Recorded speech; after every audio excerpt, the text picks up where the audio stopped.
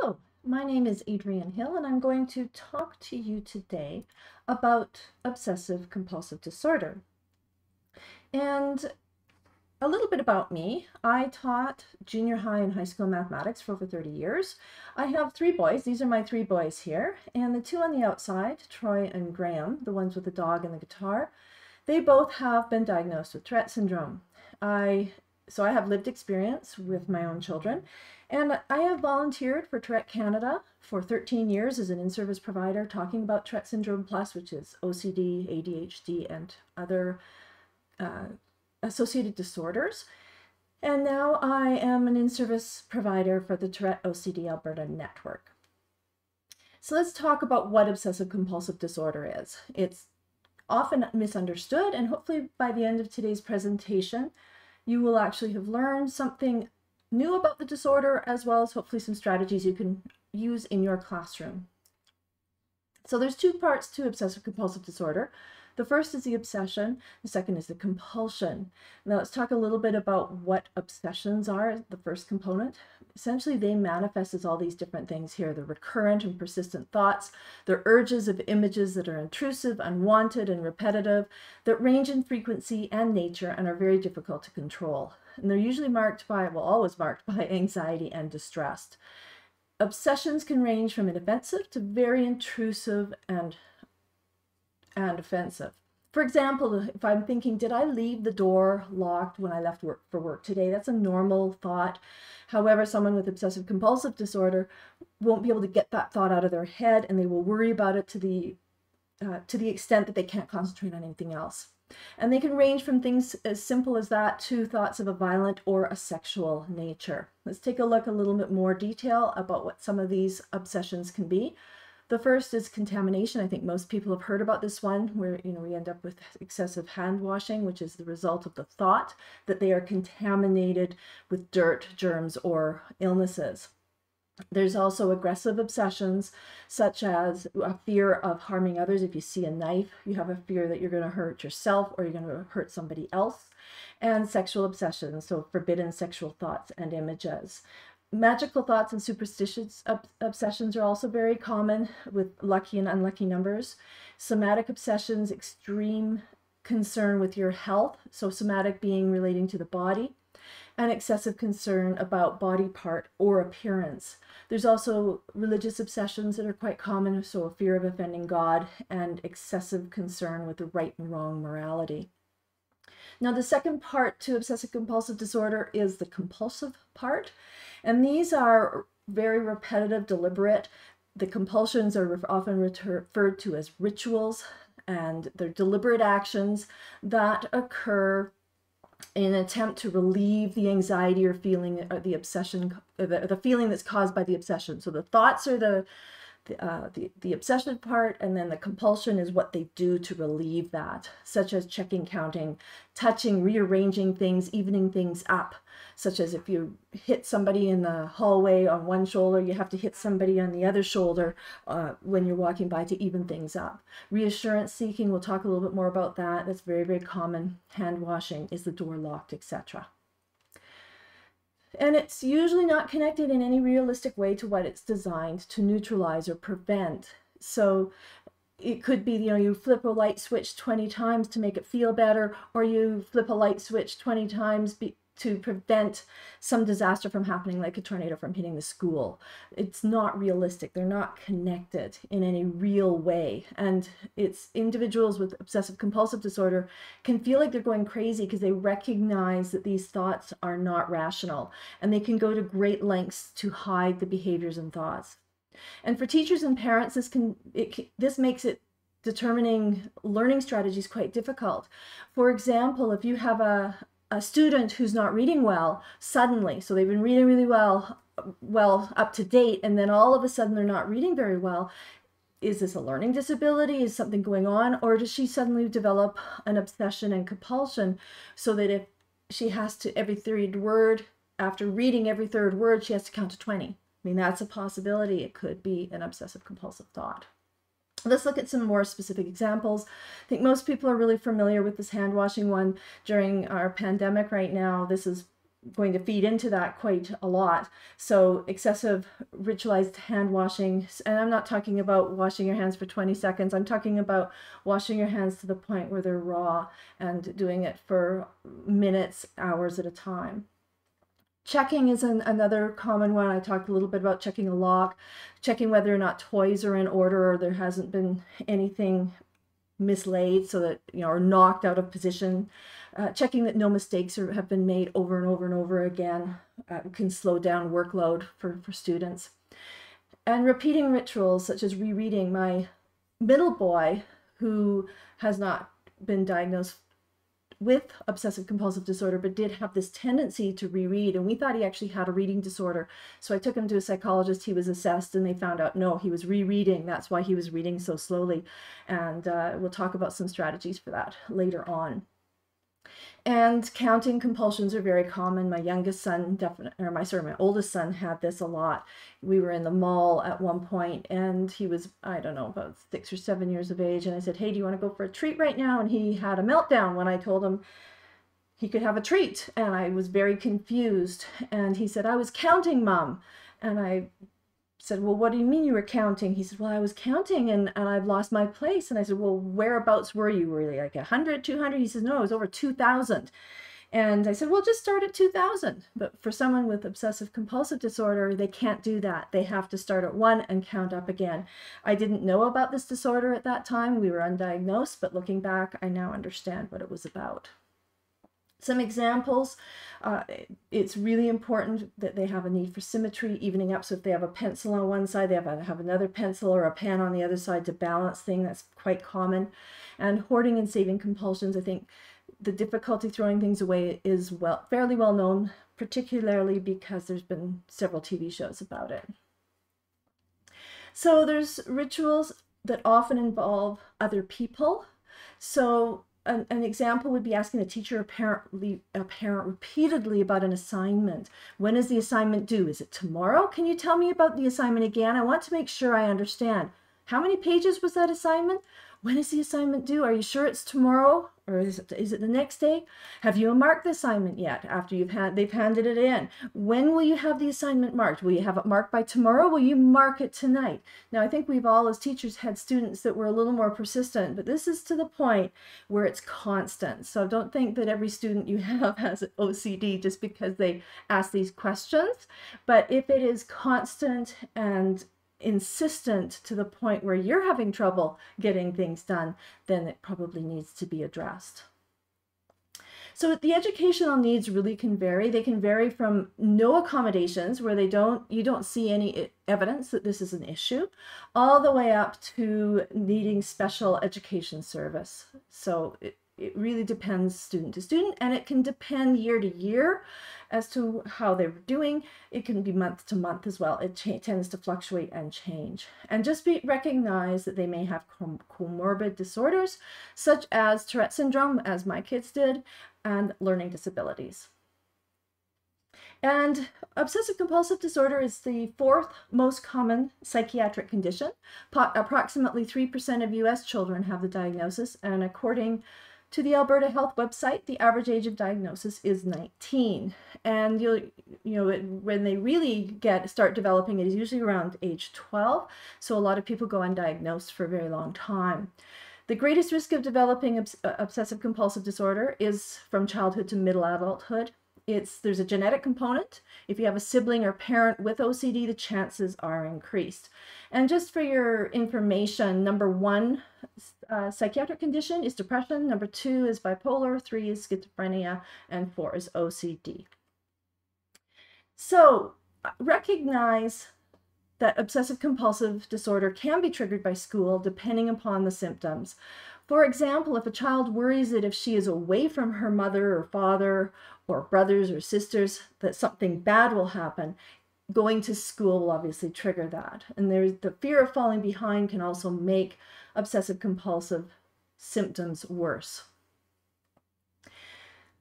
This is an obvious one. I think most teachers don't know this. You're going to consult your students and the parents and any other experts before implement, implementing strategies, and you're going to plan together. So I just want to remind you that this is really important for these kids and students.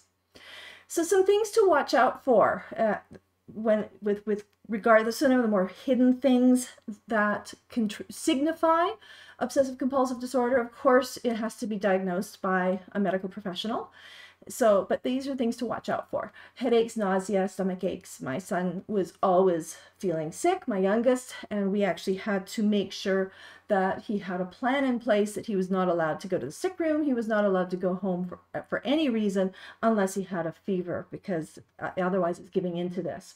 Frequent hand washing, I think I've talked about that, but watch for the chapped hands over long bathroom breaks. They could be either doing rituals or they could be washing their hands or they could be uh, doing uh, obsessing. Shoelaces are always untied. That's usually something that that's about contamination. They're afraid of contaminating their hands, so they can't tie up their shoes. Some other things to watch out for, excessive erasing to the point where they make a hole in their paper. Uh, avoidance of sticky and messy things such as on the playground or gym equipment due to contamination fears. Somebody else has touched it, so therefore I, they've got germs, so I can't touch anything. Needless corrections, uh, words and numbers retrace. My husband actually does that. He writes something and then he traces over it again until it's just right. Some other things to watch out for, unable to hand in assignments. My, my kids, two of them, had this issue. They would actually finish the assignment and wouldn't be able to hand it in because it wasn't perfect yet. So just really watch out for that possibility. And things like not changing in the change room or participating in swimming, that goes back to that germ thing again. And carrying a seat cushion, same thing, sort of uh, the, the fear of contamination. So as long as they're, uh, if they're carrying a seat cushion for medical reasons, then that's different. But if, if not, I would question what's going on here. So also watch out for avoiding of sharp things, sharp things like compasses, pens, pencils, and, and scissors. And uh, watch out also they can appear distracted or inattentive. I think that's the big thing is people think I thought that about my son. He was refusing to work, but really he, what he was happening is he was thinking things over and over and over again in his head. And so it appears distracted, it, it appears inattentive, it appears purposeful. And the classic one is taking too long on tests and quizzes because they are checking and rechecking and checking again. So it's a it's a really good way of figuring out that there may be something going on here that may need help. So people with obsessive compulsive disorder are powerfully motivated to achieve relief from their symptoms and to avoid obsessive compulsive distress if possible. They become more and more agitated to avoid if uh, if they um, can't avoid what they're they're worried about or if they can't perform the rituals. So if they're not accommodated, then they can become quite aggressive and it can turn into meltdowns in the classroom. So this so just watch out for this type of thing. Classic symptoms of a obsessive compulsive disorder from K to 6 are the perfectionistic tendencies, excessive rewriting and rewriting and erasing, reassurance seeking that I talked about earlier. Whereas when they get older, they tend to have more avoidant behavior, and this goes into adulthood. So early departures and lates are common. Uh, teens can escape classes or school entirely, and lates can become common. And uh, uh, as a result of families trying to accommodate the child, but also one of the things that I've found is that some of my students with OCD can't come into something partway through. My kids were like that as well. So if you've already started, you're, you know, you slept through your alarm or the power went out or something, and then you have to come to school late, then they don't want to go because they're interrupting. They're not starting at the beginning of the class and they can really distress. So they end up missing the whole day instead of just 20 minutes of a class. So that kind of thing we have to watch out for with obsessive compulsive disorder. But there's great hope because there's something called exposure and response therapy that actually myself and my kids went through. And it is actually really effective. Between 60 and 80% experience significant improvement in symptoms. And the biggest thing is a two year follow up. They're still good. They're doing really well as long as they don't give in to their fears. Giving in to their fears and their obsessions and compulsions can backtrack them. But as long as you maintain this exposure and response therapy type thinking, then it can be maintained. And my kids are definitely proof of that. Uh, symptoms can improve within 12 to 15 sessions. Of course, this depends greatly on the severity as well as each individual. I know that it would take usually between four and six months for any particular obsession to be overcome with my kids. And it probably was in the range of 12 to 15 sessions. But don't forget, there were multiple things, multiple issues. This was a many years uh, involvement with professionals for my kids to overcome this. And, and a good way of thinking of exposure and response therapy is what do you do when you have to overcome a fear of heights, you go to very high places. And there's also a lot of thoughts that you have to address to try and overcome this. So one of the things that's interesting is the extra time thing with obsessive compulsive disorder. Giving unlimited time can help identify issues. So it can help identify do they have obsessive compulsive disorder?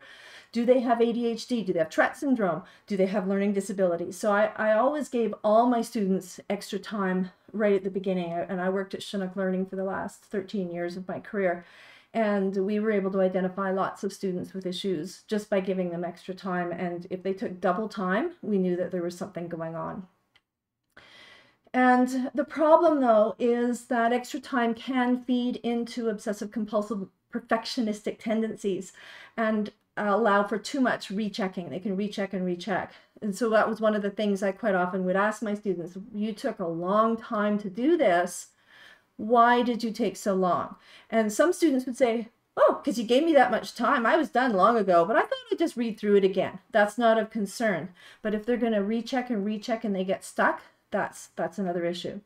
So extra time might be necessary if a different issue is being worked on, like um, you know, you, you still need to give extra time to people with obsessive compulsive disorder while you're working on different issues, such as maybe the light switch flipping is the thing you got to work on. So you can't uh, just say, oh, I'm not going to give you got OCD. I'm not going to give you extra time. That's not what I'm saying. I'm just saying be aware that it could be feeding into it and maybe work into the plan something that will change that over time. And that might be years. It might not just be a few months. It might not be while you're having that student, but maybe two, three, four, five years from now. So, because it's not good to overwhelm a student by working on too many things at once. One or two issues at a time is what's recommended, and it depends greatly on the individual. It's important to start with achievable goals and balance this with the most urgent issue. And I think most teachers are aware of that. So, so it's, but just remember, extra time is not sustainable in the long run. So you want to gradually decrease extra time if they have the diagnosis of OCD. Now, if they have a learning disability, then you're going to need that extra time still and this, as I said, possibly over years. So one of the things you need to do is to set a plan up with the student and the parents to try to limit things like excessive reassurance seeking, checking temperature over and over again. That's if they, they're worried about being sick. Uh, calling home repeatedly to make sure the family is okay, or lying down to take a break. Uh, you need to limit the number of times that they can ask a question or take their temperature. And how are you going to help? Make a written plan and uh, but the big thing here is you want to ensure success. So you want to make sure that they you know you may be moving in like not inches even but millimeters and just ensure that success. We had to move so slowly with our kids at first and then they start taking really big leaps as we move forward. So for example if the person is asking 20 questions you know in an hour then you can say okay what's a reasonable amount you feel you can ask today.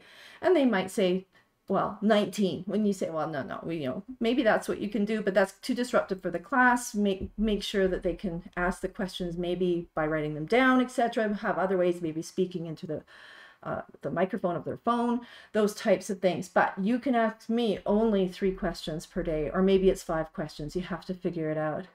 And you know, you can check your temperature four times per day and you can have one bathroom break for five minutes. But you have to work this out and go slowly and try and figure out what can work for that student. And practice the plan. You need to practice it with them, how they can do it, especially if you've asked them to do the questions by writing them down or speaking into the phone, that they need to practice that so that they understand what it's like. And role playing can feel awkward and artificial. I totally get that, but we did a lot of it when in with my kids and it did help. And it's it's especially helpful for when things go wrong. The plan will be more easily implemented. You should have a plan. Okay, this didn't work, so what's plan B? You, you obviously asked me 10 questions today, uh, we need to figure out something else. Have and uh, the big thing, reward success, have a reward system in place that is clear and concise. The student will most likely have to be reminded of the reward because they're going to melt down at some point. Like I said, you withdraw accommodations, you are going to have a reaction. And it's best to have rewards that are set up for both school and home, short term in the moment and long term the end of the day, and not end of month, because that's especially for younger kids, that's really hard to understand.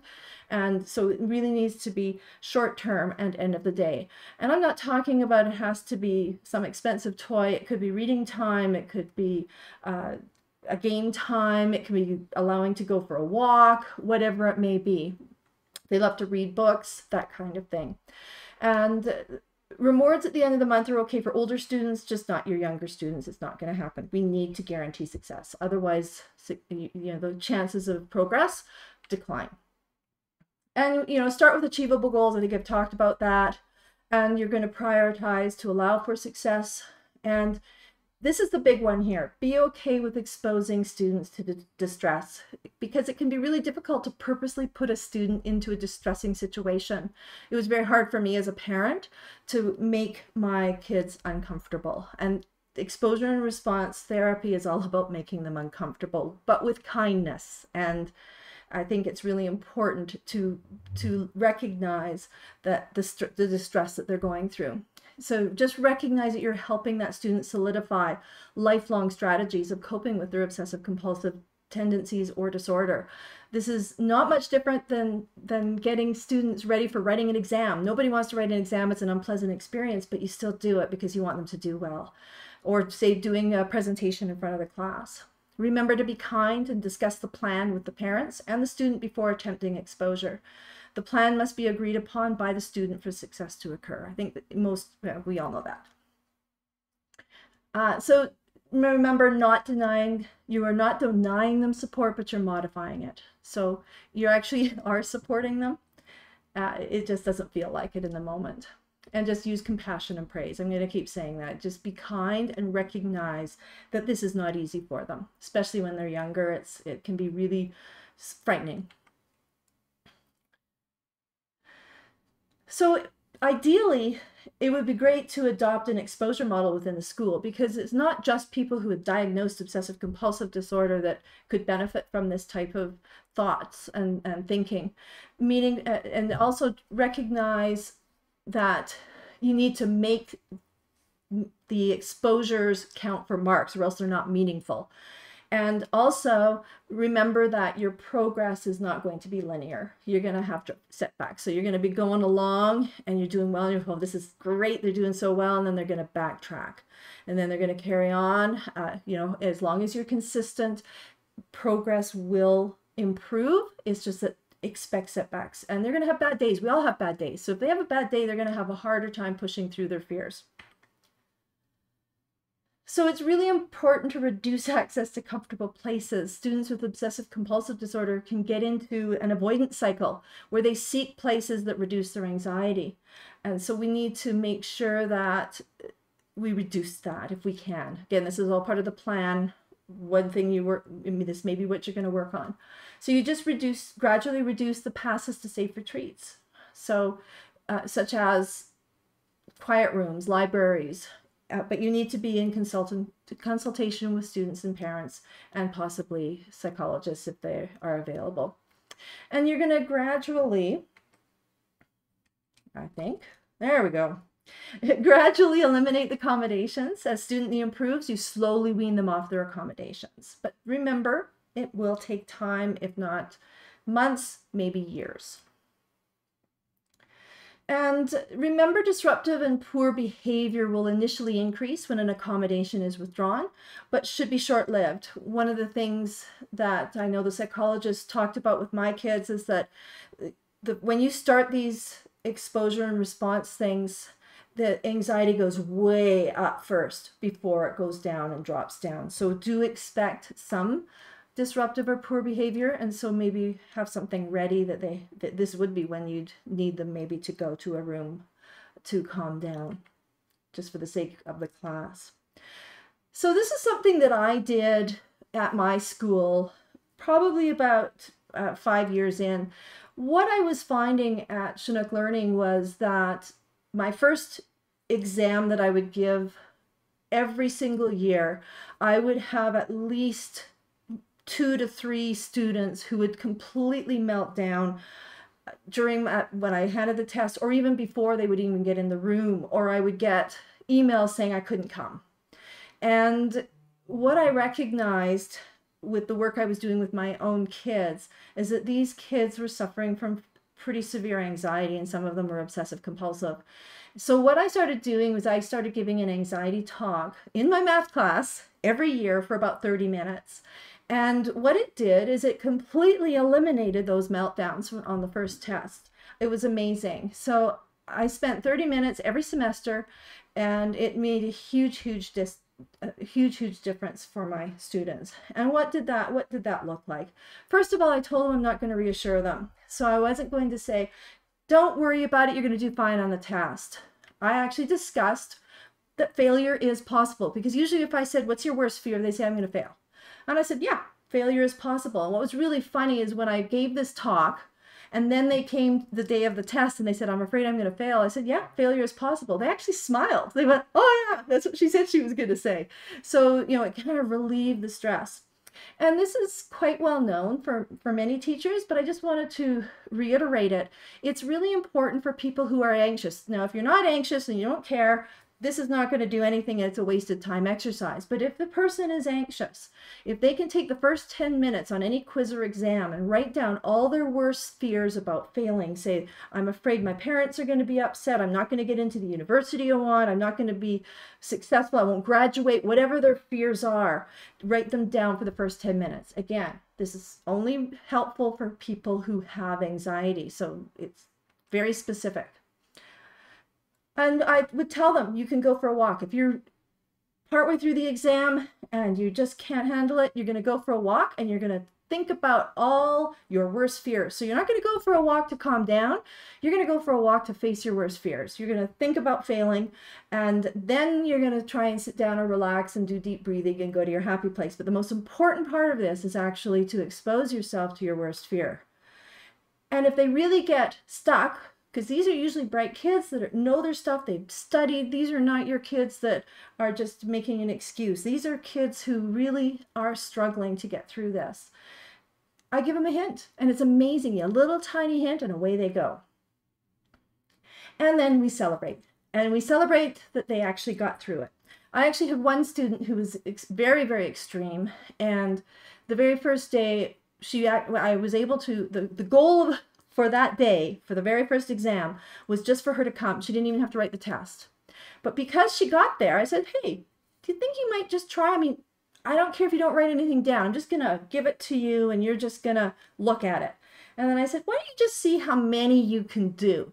So we these little tiny baby steps. Well, it turned out she got like 78% or something like that. This this girl was brilliant. So she should have been in probably the 90s, but the anxiety was so severe. And so we celebrated the fact number 1, she got to class. Number 2, she was able to write even just part of the exam. And number 3, that she not only wrote the exam, but she passed. And so those were really great things. This student was so severe, though, that when it came to the diploma exam, we could not get her in to write it. But I did get a note a few years later. Remember, I said it takes years before some people can get through some of these things. I got a note from her saying she did finally write the exam. Of course, she got in the 90s, brilliant girl. And so I was so thrilled for her. She did finally push through. And uh, we actually had her diagnosed through Chinook Learning. So what is really counterproductive, this is the things that are tend to be on websites for test writing, it's actually counterproductive to say, you'll be fine, don't worry, it's not scary. Just don't think about it. You actually need to face your fears. You should be able to do this. You did this yesterday, why can't you do it today?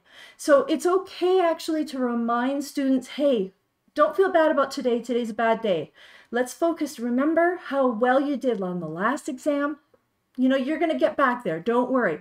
So don't use it sort of like a punishment kind of an idea, you know, like rolling your eyes. Be kind when they have, when you say this kind of thing. So do remind them of their success, but be careful about that. So I want to talk a little bit about transitions. Transitions are very difficult for people with Tourette syndrome and obsessive compulsive dis disorder. So, but the problem is, is if you give in to that, I know my son was given lots of warning when there was going to be a fire drill. And that's great. I think that it's really good to have those warnings, but it's really important to reduce the warnings. So it can be a slow process. Start with asking the student how long a warning they need for the change. If it is the day before, slowly decrease the length of time of the war uh, to the warning until it is minimal, say five minutes. Then offer no warning. And the student needs to know there will be no warning. And this is planned with the student. Are you ready for no warning? And if they say yes, then we're going to go for it. And of course, sometimes no warning is going to happen anyway. And those are great. That's really important that they they recognize if it does happen, you say, hey, look, you survived. You did awesome. Even if they had a little meltdown, they still survived. So at first, the progress is going to be slow. The anxiety usually gets worse before it gets better, like I said before. But once they realize they will survive, progress usually speeds up. So another thing to practice besides, you know, assemblies and fire drills and field trips is surprise quizzes. And I know all students hate surprise quizzes, but make it fun, have a joke in it, and it will help be a good way of reducing the anxiety, but you still have to make it worth something or else it's not going to be as effective. And for testing, if possible, temporarily remove your long answer questions that be aware that students with obsessive compulsive disorder may do better with multiple choice tests. It can reduce the checking tendency. So that's the reason th for that is it they don't have to have a perfect sentence. The sentences are already there. It can be better for the student to practice those long answer questions at home where the parents can help. But obviously that's not always going to be possible, but just be aware that this is something that can help. Now, if you have an example where someone has a contamination fear and then there was somebody who vomited in the classroom, that student may not be able to go back in the classroom. And if you have something like this, you can practice after school because you're going to need to practice obviously not in in during class time because you have to teach a class. So have, you know, maybe a parent or a friend to help with this after school where they can be in a safe place in the school and a, teach an, a teacher, the aide or parent or friend can bring progressively more fearful items from the classroom to the student. So they take, say, a chair out to the student and then they sit on it, etc. And then you start moving closer to the classroom and bringing the items from the classroom to the stool to, to the student. And then eventually you move them into the classroom. This can take a long time, it, but you can get them back in. So that's an, ex, an example of an exposure that can happen as a result of fear of contamination. So this one is tough, combating school avoidance. My youngest son had this issue. We, he was very, very fearful of going to school because he was afraid he'd get a migraine, which had happened a few times and then it just became it got out of control he essentially didn't go to school for several months. And so we had to take a really really slow approach and have a really big re consistent reward system used and agreed upon beforehand. So the first day say we spent an hour in the car in the parking lot and then went home. And then the next day we get to the parking lot and then we walk to the entranceway of the school and we just stay there for a while. Sometimes we would walk around the school uh, and that would help. Then the next thing you go into the maybe the library or another safe place. For my son, it was he loved the vice principal, so we went into the vice principal's office and sat in with him for a little while. And then they can attend one class and and then maybe another class. And we had days where there we would show up at school and he just couldn't go in. So that's what I'm talking about, you know, going backwards a little bit. But then the next day, he'd be able to go for the whole day. So you're going to have expect bad days and regressing and don't forget to reward progress in the effort. But, but you need to continue to set that bar slightly higher in response to success. So you have to keep moving forward. So this I talked a little bit about lates earlier on. If late, they may choose to avoid the whole class. So you need to make a plan to practice and reward lates. We actually had to do that with my youngest son as well. we knew that we had to do this when one day our alarm didn't go off and we were going to be late and he had a huge meltdown. So we made an agreement that we would go into school every day at 10:10 because that's when the office could handle him uh, the most. And the first day he screamed from 10:10 until lunchtime and the principal phoned me and said, help me, please. And that's when I got on the phone to him, reminded him of his reward, which was some little tiny Lego thing. And he calmed down and he made it through the day. And four days later, he said, Mom, let's practice being late. So I knew we were good and things we've never had a problem after that so that's the thing with the rewards you reward them to get through the anxiety once the anxiety is gone the rewards are gone as well so it's really important to not draw attention to late students if you can and if you do it's in a kind way. And again reward the progress. I talked about that expect the bad days regressing continue to set the bar higher so you can see a pattern happening here. So when it's really important that you have a rating system to determine the stress levels and I know elementary school teachers are really good at this. They usually have like happy faces on the on the front of the desk and they have different, you know, happy, sad, all the way down to sad or frustrated. Those are great. I think that's because especially younger kids will have trouble telling you that they're really getting distressed and this way it can really help with the communication. I found this really helpful. Uh, you can use a scale of 1 to 10. I use that a lot with my students who were very anxious. Or you can set up things like a fear thermometer you know where where on the thermometer are you with this? So we use beakers a lot in our household. That's why there's a beaker there. So is your beaker half full or is it really full? Like where are you at with regards to your anxiety? So if this, the scale is important but you, you know and you need, it's nice if you can have a verbal one but sometimes they're so shut down that they can't talk to you. So you might need to have like fingers you know five out of ten or whatever. Uh, it's and it's really important if they're really stressed that you don't talk to them right now but about strategies etc you may wait for them to calm down. And then you can discuss the reality of their fear etc so some more ways to help. I think it's really important for these people to make note of their daily, weekly, and monthly successes. They can do that themselves. But for especially for younger kids, I think it's really important that you know the teacher does this and the parents do this so that they can have uh, have something tracked. And I think it's still important. I think we're hard on ourselves, and it's really nice if somebody else does this for us every once in a while, even when they get older.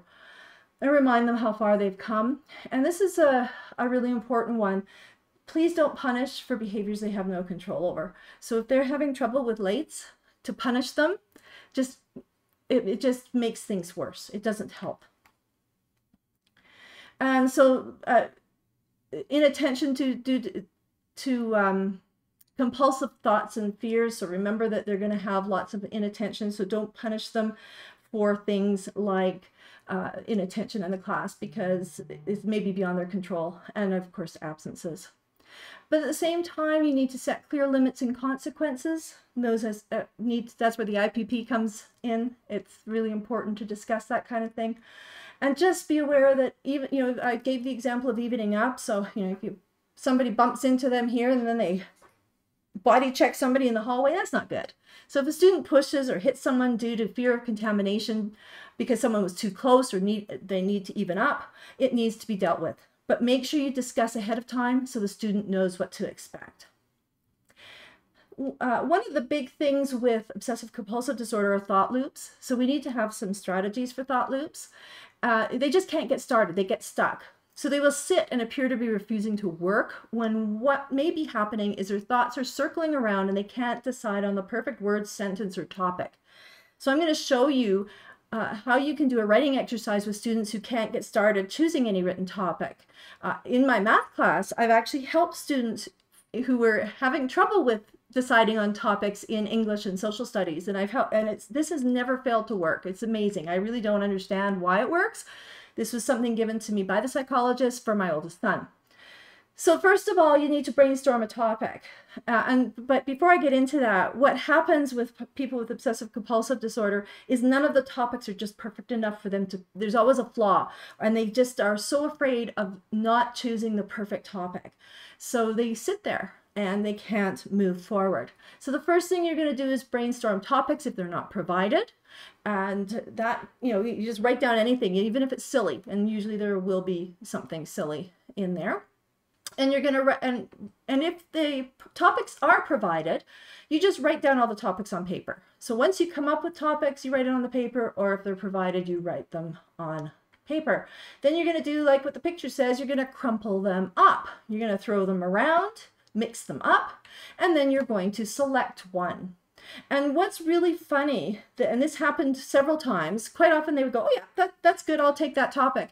But they really usually did have a favorite one, but because they couldn't get through that looping thoughts, they just couldn't bring themselves to choose it. So they choose topic A, but they really wanted topic C, and they will change, but they it's just enough to get them to go through. I don't understand why, but it does work. It works very, very well.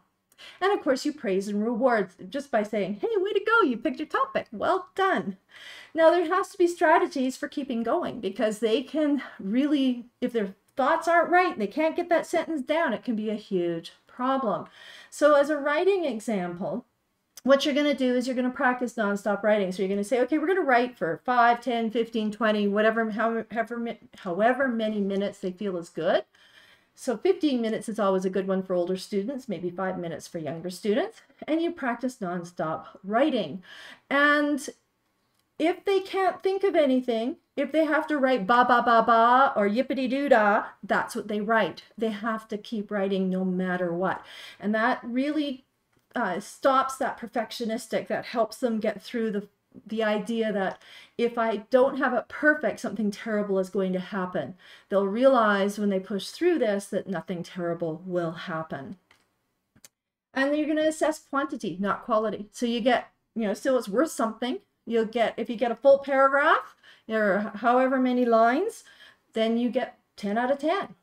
And then you gradually increase expectations of quality with editing and you shorten the time limits or increase them, whatever it is that you need to have done. As you're older, you might need a three hour essay and do 15 minutes a day or half an hour a day. Set reasonable daily goals for, for completion. And of course, using a computer is hugely helpful because then you don't have to worry about the perfection of writing. You can type, and so that's uh, that that part goes away. However, my son, my oldest son, couldn't even write on the computer unless the in, in his head his sentence was perfect.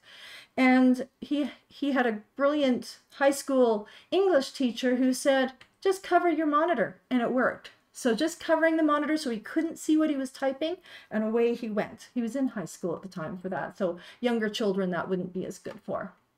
That's when scribing comes in handy so rereading and rereading issues, I talked a little bit about my middle boy. We thought he had a reading dis disability and it turned out he was rereading. You know, the obsessive compulsive tendencies are in the family.